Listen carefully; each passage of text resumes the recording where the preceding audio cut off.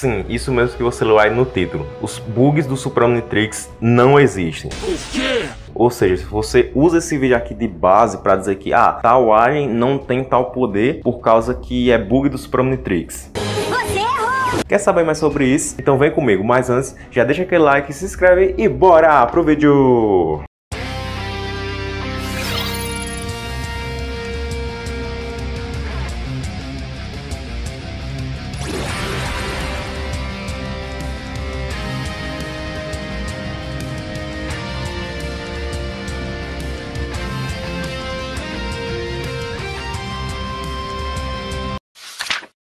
Derek J. White. Bom, para quem não conhece, esse aí é o diretor de Acid Badass Omniverse e ele fala muitas coisas que a fanbase e a wiki americana consideram-se como válidas, servem para o canon da série. Por outro lado, tem muitas coisas que o Derek fala que são consideradas burrices e não tem nada a ver, que são incoerentes com a história do Ben 10. Tipo, um exemplo assim bem famoso que eu gosto de usar aqui no meu canal é o Derek falar que o Ben 10 mil do clássico do Omniverse são o mesmo. Porque não faz sentido, tipo, não é a mesma linha do tempo ali. Por causa que o Ben 10 mil do clássico é um futuro alternativo, onde o Ben não entregou o bolo de aniversário pro Vomax no aniversário de 60 anos, entendeu?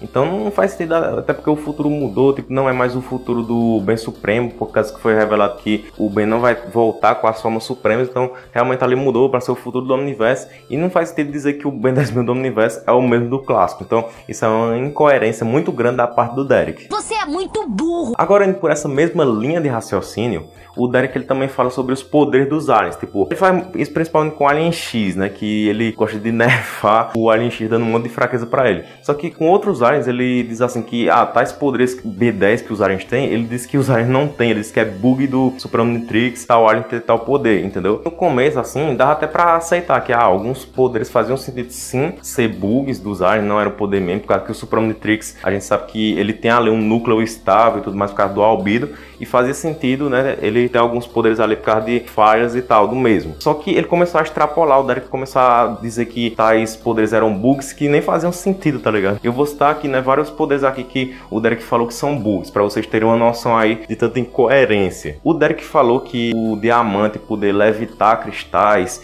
e poder fazer projéteis explosivos, que ele fez isso lá no Alien Force, né, no episódio A Vingança de Vilgax Part 2. Foi um erro de storyboard ali, que não era para o Diamante ter feito aquilo ali. Só que isso não faz sentido pelo fato de que o Ben, ele falou essa frase aqui. Se deu mal, Vilgax. Eu já pratiquei muito com este aqui. Ou seja, ele deixou claro pra gente que ele tinha treinado com um diamante e tudo mais. Ou seja, aquilo ali que ele usou é uma coisa que a gente queria ver, um bem experiente com o seu Alien do passado. Aí o Derek vai lá e fala que não, é erro, é bug ali, entendeu? Não faz sentido. Ele também falou que o Gosma soltar ácido é um bug, tá dizendo que é uma coisa marcante do Gosma, até nos jogos ele faz isso, né? O Albedo foi mostrado fazendo isso. É uma coisa assim que, ah, ele é Gosma, ele é feito de Gosma, então ele aparenta naturalmente fazer isso de boa, tá ligado? Transformar o corpo dele em ácido e tudo mais, entendeu? Não faz sentido ser um poder de bug, um poder de falha. E ainda sobre o diamante, ele falou que no episódio da vingança, o diamante poder absorver energia foi um bug também. Só que a Cartoon Network confirmou que o diamante tem esse poder tanto ele tinha no clássico, né? Ele tem em WAF, tem no universo e até no reboot ele pode fazer isso, entendeu? Então já desconsidera totalmente o que o Derek falou. Mentiroso!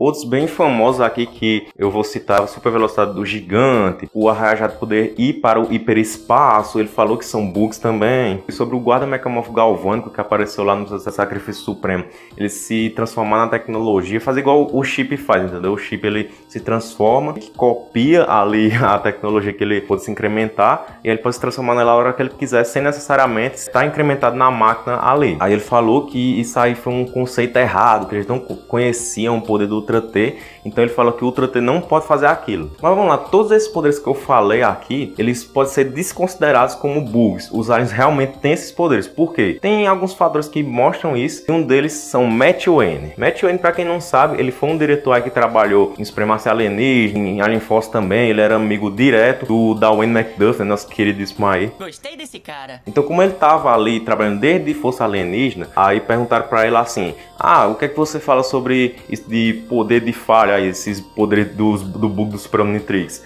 Ele respondeu literalmente isso aqui. Entendeu? Ele não tava ciente que isso aí existia. E ele trabalhou em WARF, entendeu? Agora, o Derek trabalhou no universo, ele fala que é bug, que foi erro de storyboard, não sei o que, que não era pra ser assim.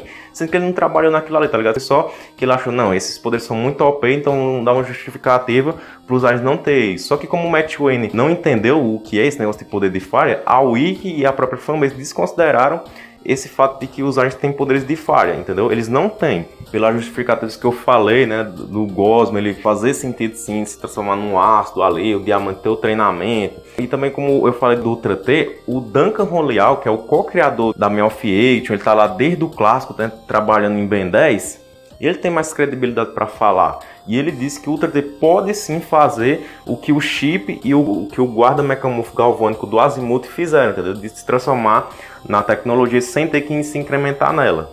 Agora só para fazer uma correção aqui que eu falei um negócio errado no vídeo lá dos bugs do Super Omnitrix, que eu disse que o Derek falou que o Echo Echo poder levitar no episódio de de um Tecadon foi um bug do Super Omnitrix, só que isso aí ele não falou, né? Tanto que em Universe o Echo Echo levita, tem um tempinho ali, tem um episódio que ele levita só uma ceninha assim. Então isso quer dizer que o Derek já considerava que era um poder mesmo do Echo Echo, não um bug. Ou seja, eu errei, desculpa aí, galera. Mas, mesmo se fosse, né? Se o Derek considerasse que era um bug aquilo ali, não é. Se ele considerasse, a gente já poderia desconsiderar baseado no que eu falei aqui. Agora, um poder do Echo que o Derek considera que é um bug é ele poder clonar objetos, que ele usou isso no episódio Inspetor 13. Aí, por causa disso aqui que eu falei do Matt Wayne, a gente também desconsidera que são poderes de falha e sim são poderes que a espécie realmente tem. Compreende, meus queridos? Então, é isso. O negócio de poder de falha não existe no Super Omnitrix.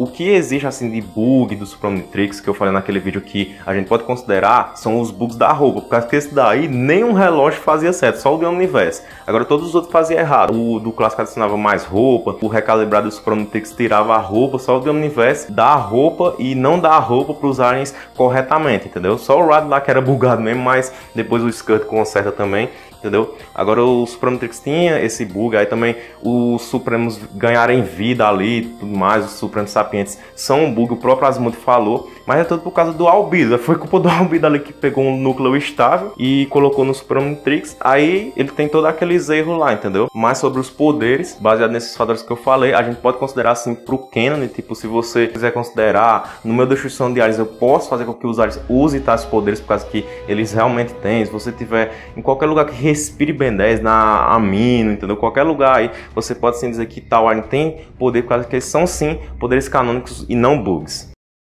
Então é isso, espero que eu tenha esclarecido para vocês né, sobre esses poderes de falha e tudo mais. Comenta o que você acha disso aí, se você gosta de tal poder que o Alien tem, se você ficou feliz por não ser um bug, por a própria espécie ter sim esse poder. E é isso, deixa aquele like, se inscreve no canal, ativa o sininho, falou e tchau!